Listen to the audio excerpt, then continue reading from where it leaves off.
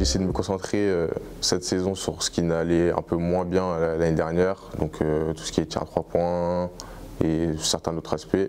Je les ai travaillés comme je pouvais les travailler avec le temps que j'ai.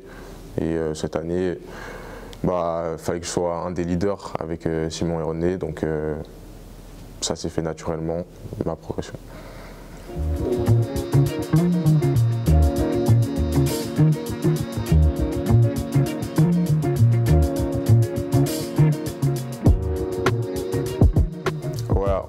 Se dit ça au début, mais après, euh, on voit qu'au fur et à mesure, c'est quand même dur et que ça va pas se faire comme ça en un claquement de doigts. Donc euh, moi, je reste sur la, tête sur les épaules, comme toujours, et je me concentre sur moi-même et on verra ce que ça donnera.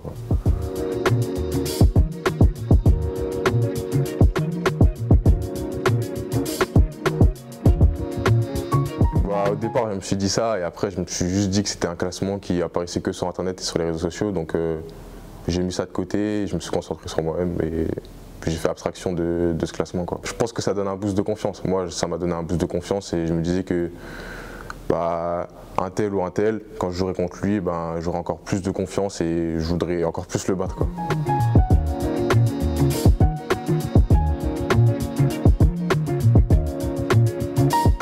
Jouer en pro déjà, ce serait déjà quelque chose, euh, ce serait déjà un rêve depuis tout petit. Après, euh, tout dépendra de moi et euh, si on me fait confiance et si euh, je performe ou pas. Faut pas se fixer de limite.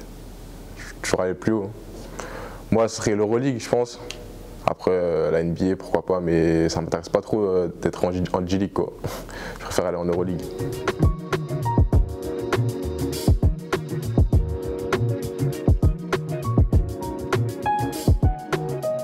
Cette année, moi, je me concentre plus sur mon tir. C'est vraiment l'aspect où j'ai déjà progressé un petit peu, mais j'essaie encore plus de progresser, notamment sur le tir à 3 points, après euh, sur euh, le tir à mi-distance aussi, et le lancer franc bien sûr. Et euh, après, sinon, j'essaie de me développer au maximum sur mon corps, tout ce qui est muscu, j'y vais trois fois par semaine, je fais des grosses séances avec le préparateur physique justement pour bien développer mon corps.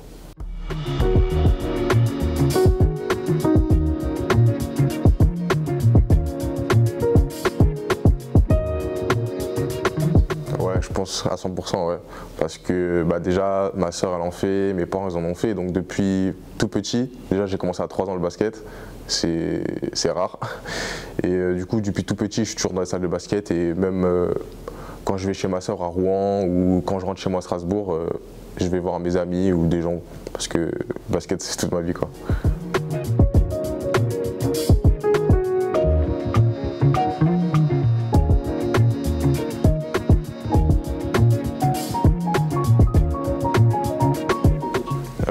En tant que coach, je pense pas, mais déjà, c'est sûr que je vais faire un truc dans le sport.